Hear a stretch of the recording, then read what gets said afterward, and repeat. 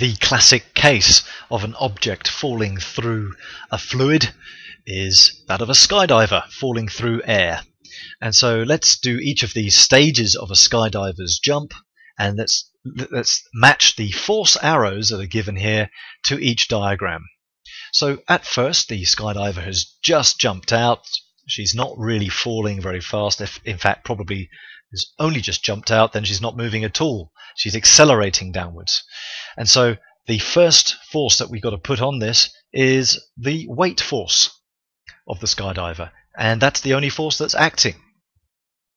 So there is a, an unbalanced force here, and the skydiver will be accelerating. And as they accelerate, they'll be bumping into air molecules and they will experience a air resistance or a drag force, and that drag force will be going upwards. So first of all, though, the the skydiver's weight does not change. That's the force acting downwards. They haven't gone on a diet or lost weight unless they're really scared of uh, this skydive, but uh, it'll be the same weight.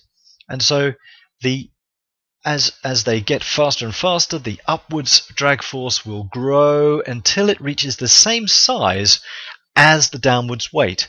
And at that point, they will be balanced, balanced forces. There is no resultant force at this point. And so they have reached a constant speed. There's no acceleration. And we call this the terminal velocity. So that's the first terminal velocity of the skydiver. Then the skydiver deploys the parachute. And when they deploy the parachute, suddenly there's a much bigger surface area and a much larger upwards drag force because they're moving very quickly downwards. And so what we get is, first of all, we get a uh, the weight force, which hasn't changed, and this much bigger upwards drag force. And note, there is an imbalance of forces here, an imbalance, and that means that there is a resultant force. Which one wins? This one wins, and the winning force means that the skydiver will now decelerate. And as they decelerate, this drag force will decrease in size until, you guessed it, it matches the weight force. And this is their second terminal velocity of the skydiver.